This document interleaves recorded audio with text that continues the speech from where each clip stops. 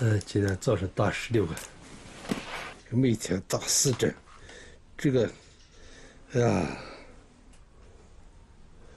真受罪。我父亲的人一生吧，只要有一个目标，他会奔着这个目标不达目的手不罢休吧。嗯，这应该是全球关系。嗯，这是水这一块，底下像这样，这是。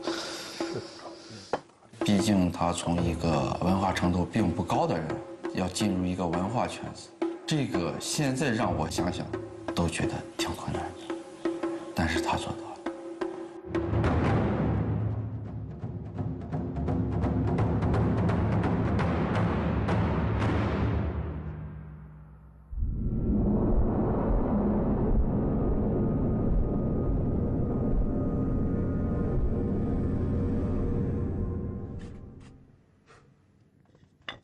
绝大多数需要修复，因为房子你就好比站着来一把火烧了，烧了，房子塌下来，塌下来以后，这个瓦当大部分都烂了，混的很少。一开始很多时候建筑上面外露的这个木头，我们叫椽子，这个风吹雨晒后很短时间就会腐朽，然后在这个时候人们发明了瓦当，其实在最初的作用它就是护檐头的。越往后去，它越成为装饰品。就是瓦当，我们说起源于西周，鼎盛于秦汉，这一段时间全部用于使用。这是设计设施。修复呢，就是一般就是一堆瓦，你看有时能拼凑到一块的，原差之地先搁到一块。看没有原差之地，那就这呃二块瓦，嗯，就差一个字，你好比四个字，长生无极，可能。缺个绳子，嘎这个绳子搁在一块后，把那绳子一切，捋断块，一修复跟就是跟原瓦一样。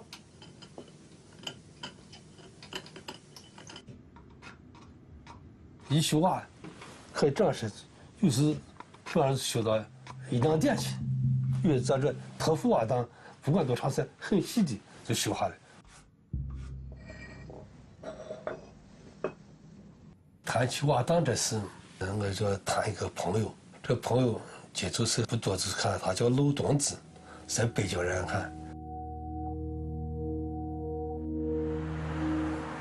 九七年就是国家批准的第一批私人博物馆，就我这朋友陆东子。瓦当都大部分是在西安，北京是没有啥瓦当，在西安，他来能背几块瓦当，可是博物成立后看，他摆了一百多个瓦当，都当称号。在西安，得天独厚，没人搞这事。再有这，从经济方面，我给你看，比其他搞收藏这块都在上。说我暗下决心，自己要建个博物馆。这从九九年开始，开始进入收藏这个瓦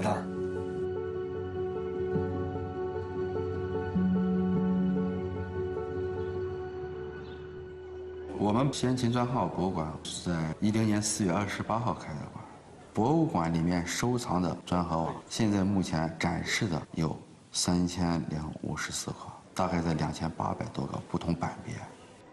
那么在它跨大的这一瞬间，从历史角度，我们这个藏品就是它专题性很突出，而且藏品数量非常丰富。这一点是得益于我们当时布展所有的这些藏品的时候，当时任老师一直坚持，就是以这种量贩式的这种方式来展，非常密集。在有限的展馆里面，我们展示了三千多件的藏品，这已经是一个博物馆能展示的极限了。所以说的瓦当分类就是分为三大类，第一大类就是图案类，然后就是头像类，再最后就是文字类。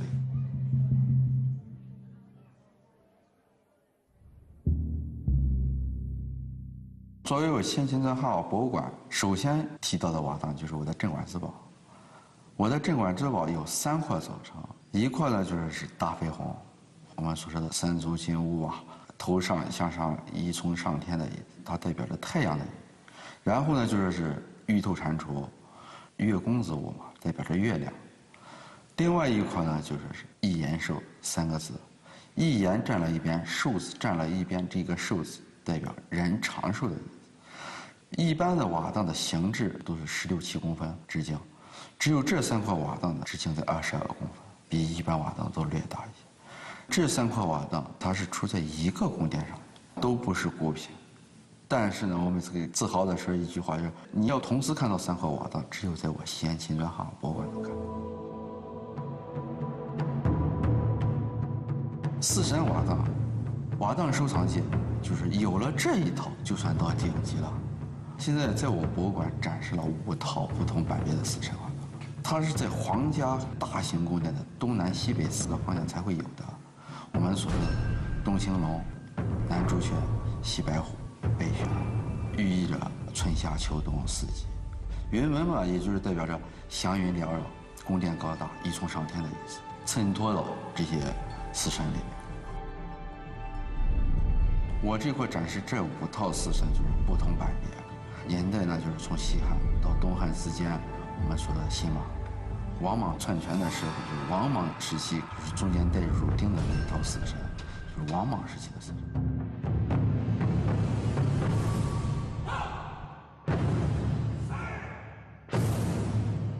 瓦当里面不能不说的就是我们的瓦当王。我们所说的瓦当王其实学名叫遮姓。我们说的瓦当是护船头的，房屋最顶端的那一个通称的叫大梁。瓦当王其实就护大梁的两端，所以瓦当王的出现全部是在以前。以前的瓦当王可能最大都是以块龙纹为主啊，什么大概做五十多公分的。直至博物馆开馆以前，我们发现大概在六十多公分。目前来说，发现的最大的一个。瓦当王型，瓦当包含的面非常广，文字呀、文学呀、美学呀、雕塑啊、装潢啊，它这些建筑它它多门多门类综合性的啊。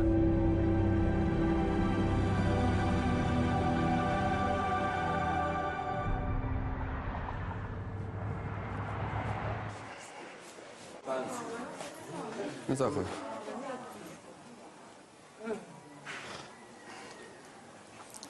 那啥，粥还烫吗？大了一瓶。你中午吃啥了？错了。早吃就不对。早上在屋吃啥？那个包子。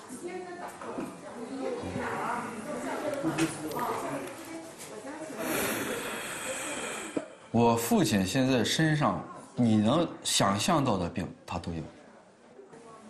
呃，高血压呀。心脏病呀，糖尿病呀，你包括骨质增生呀，呃，腰椎盘，然后胆结石呀，冠心病还，有心脏都是冠心病，就是这些病，所有想到的这些大病，他基本上都有。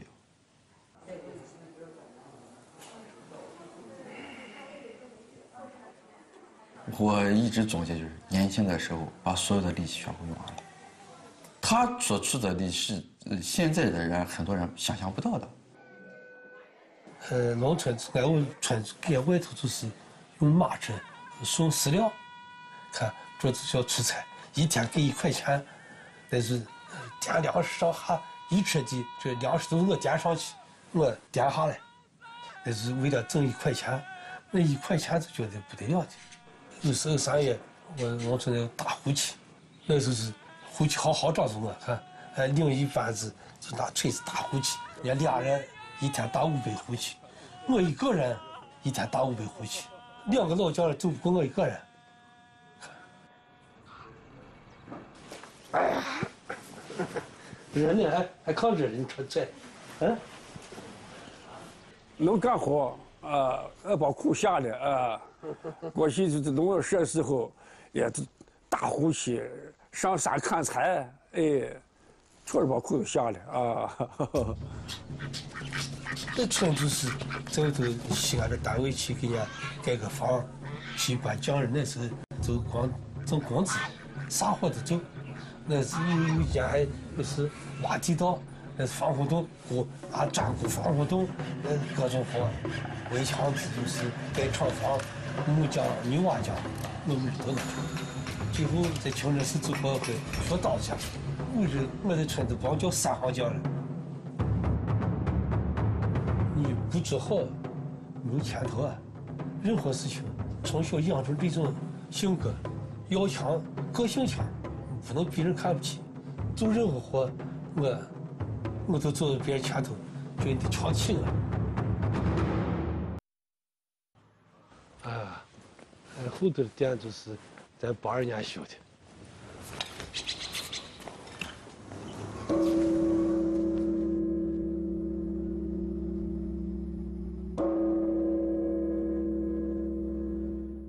我是搞古建的，搞古建筑，你看各种瓦当、各种衣服，或者在以前收藏字画一种衣服，这都同类。对着瓦当，你接走以后一看，瓦当这种衣服也是不可思议的。这是个棺子啊，不是弓，是棺子。罐子，这很特殊啥样棺在这，瓦当在这，没没没没见过这瓦当，还蛮好，嗯，蛮佩服的，嗯。那这个就不你要看到中国最早且最清晰的，我不敢说这个文字是最早的，因为它都是汉代的，但是清晰度能达到瓦当这种程度的几乎没有。所有的书法这些篆刻呀，他们的发源开起源基本上都从以秦汉而以来的。秦以后到了汉，汉出现了大量的文字瓦当，所以你在这块能真真正正的体现到秦汉尤其汉代的书法。包括我们以前也碰到过书法家到我这块来，写到一个肠子，就在我这长乐未央里面找了一个肠子。他说了一句话，离开你这个地方，我估计写这个肠子，别人都会骂我的，根本没有出处。但是我在你这看到这个。篆书在秦代是比较盛行的，但是到了汉代呢，其实就比较少了。汉代是以隶书为主，但是瓦当上面的文字呢，它基本上都是篆书。等于是填补了一个由篆到隶啊过渡的这个一个空白。它的美呢，跟一般的帖上的是不一样的，是我们能够看到的，能够触摸到的。所以我觉得任老师他实际上就是一个对传统文化的最忠诚的一个保护者。咱肯定还是在这保着呢。有时收回来以后，搁屋摆开看，啊，那种激动的，最少兴奋一个礼拜，这个礼拜想也都很兴奋。哎呀，所以公益之深，这就感觉越干越熟，还能碰见这不同品种，进入这后一直感觉无穷无尽的兴奋，所以说下卷一步了是必须干到底。嗯，瓦当这个一普普通瓦当很便宜，高档瓦当。价非常高，你就收不起。你经济村，经一两万三。在那个时期，我开画廊的时候，我往出卖着，我也收着。这种日子吧，还算行，能这样子过下去。但是这种日子没过两年，我父亲开始大量收瓦。这个瓦当收的货是我以至于说只出不进。当时就是我卖出去的钱全部拿回来交给他，他收瓦。书画。你这东西不是说是天天能卖的，最后就是他碰到东西的，我就得给他拿钱。拿钱的情况，我又卖不了的情况，就得借钱。我当时的难处，我父亲他不理解，他认为我身边有一些这些朋友，虽然朋友无私的帮忙、无私的奉献，就是很多时候他们是很愿意把钱给我给出来。但是你在很多时候就是你要开这个口，这个口根本就开不出。你不知道我，我有很多次为了这个开口，我可能都想过无数遍、几百遍。想起来就是口子嗯，是这个是字。我讲开始说他挖到，哎呀，好挖到，激我激动的，哎，你来来来。不，你叫你看看这个，那个代理不代理，王能气死了。他对对这位置兴趣不是多么高，你没法？有时给他叫他看，给他多一组不是。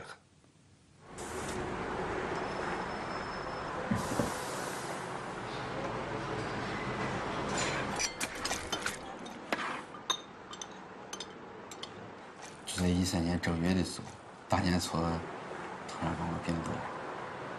那个时候，我当时才不到四十岁，其实我心里也是根本就，没有想到自己心脏会出任何问题，为此对我父亲影响挺大的。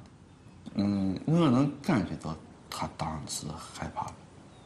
为什么我开始对这个做支架嘛那啥没概念不懂，我赶紧给谁打电话呀借些钱，够不够？我就一两万块，俺借两万块，我去吃了点，人家那个医生帮我弄歪，哇，病治病治重的，我还建议把你叫芝麻叫不来，咋咋的，歪的很，哇，血管又堵住了，不做，就生命危险了。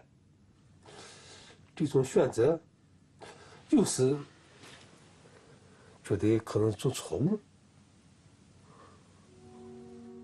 如果是不选择这，经济再会有问题吧。选择这个，你看，最后不在正这程度。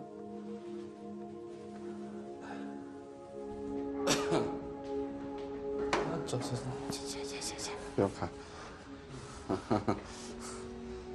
从内心我觉得对不起儿子，他现在身体是我很担心。你包括现在就是那早晨黑的，我连老人基本都不敢给他打电话，他接到个电话他就担心，他心疼接受不了了。呃，你你看这，这里看，这都是全部，看，有很多药子在这里搁着看，各种药咱这，哎，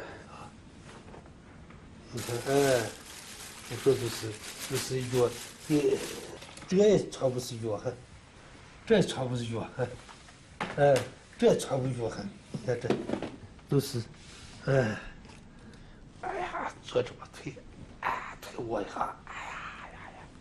所以说这些年我父亲的在这个病上，包括就是以前的手啊当碰到，呃手啊当没钱呀，碰到卖药没钱这些事情，频繁的出现，以至于最后达到一个什么程度？一有钱先囤药，怕就怕到犯病的时候没钱吃药。来，咱们给你加点费，啊。哦，谢谢你。嗯，对，啊，我的老婆还会说话了。这句话可能我今生第一次听到。不会说，平常不会说他。自从收了呃瓦当以后，是，你给买不论啥都不要咋这家生来钱收瓦当，想收瓦当，那我不支持也没办法，人家是当家的嘛，人家挣钱的嘛。呃，应该是我比较专权一点，哎。我是霸道，嗯，还是霸道。看，就是人家说我霸道。这就是这家庭都是人家说的算嘛，儿子算是两个在里都得听人家的。哎，哎呀，九九年正式大量收挖的时候，在那个年代，国家也是大开发，西部大开发。国家投资钱大，给那是建房的、修公路的，发现了大量的瓦的，看这机会很融合，这民民之中好像咱，哎，互相选择，瓦当选择我，我也选择了瓦当，就这种程程度，哎，好像我生命一样。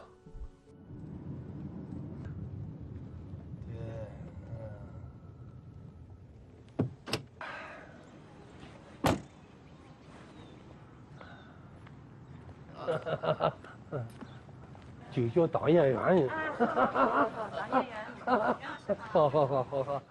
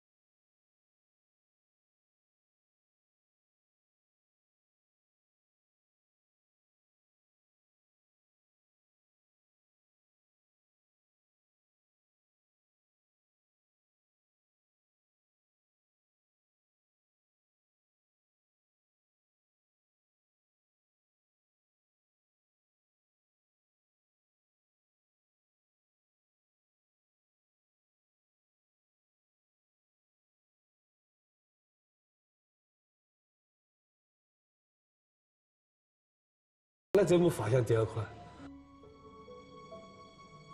有时经过我看这东后，我自自己觉得，咋能收这些东西？咋收到的？嗯，这都想不到。哎呀，博物馆建馆之后，刚开始的时候是我们老人馆长身体允许，所以几乎是他天天都会来。所有的这些藏品几千件，之前在他的斗室里面可能是都在那个锦盒里面一个一个摞起来的，他自己也不能说天天的去能看到他们。现在突然把这全部都展示开了，他每次我都觉得他就看自己的孩子一样，一个一个一个一个从这个展现上一个一个看过去，然后我们都会跟着他。小人馆的任俊义也会跟着。然后后来呢，呃，我们再去接团队，然后我们再去做外展，然后老师再去遗址考察，做一些事情。受这个影响的就不仅仅是我们博物馆的工作人员，我们也能明显的感觉到我们小人馆长在他父亲的这个带领下的这种情感的一种转换。然后再接着到近几年，尤其是老人馆长这个身体状况就是越来越差的这个情况下，我觉得他作为一个儿子，他也生出这一种责任和担当，他就觉得子承父业。就是父亲的这种心愿，或者父亲这一生最想做好的一件事情，他觉得他就有义务去把这个接力棒接过来。所以我们后面这几年，老人馆长现在因为身体原因，他就慢慢在家研究这些瓦当的这些资料，为出书做准备。然后博物馆运营这块，包括对外外展呀，包括其他的一些事情，都是我们小人馆长在接手在做。在位置这里都在，估计也是没办法来上来些。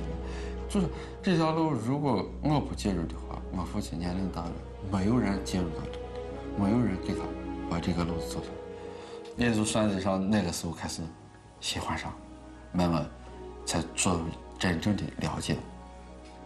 这一块就是儿子买回来的，任俊义买回来的，咱拥有这最珍贵的，没有第二块，你这都一无二的，非常，哎呀，心情是。感觉比儿子孙子亲切。生命到此为止了，是基本是这样的。对我来说，就是说一生最大理想，很完整的出一套有档次的瓦当大成。现在这正在编排中，基本编排完了，完成这事，对我来说是哎呀，有个圆满的结局。现在让我来说，对我父亲唯一的希望。就是健康，对于我可能以后来说是把秦镇汉博物馆怎样能发扬的更大？为什么藏瓦？藏的是我们的文化，藏的是我们中国传统的一种文化，秦汉精神所在。也是给社会干一件事情，干一件有意义的事情，你想干一件就能流传下去，能叫后代记住在这个人名字，这多有意义啊！